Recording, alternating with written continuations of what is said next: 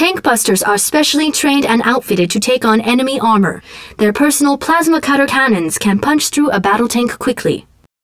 Their special ability is to dive into a spider hole which boosts their defense and prevents them from being crushed by vehicles. They can pop up to resume firing.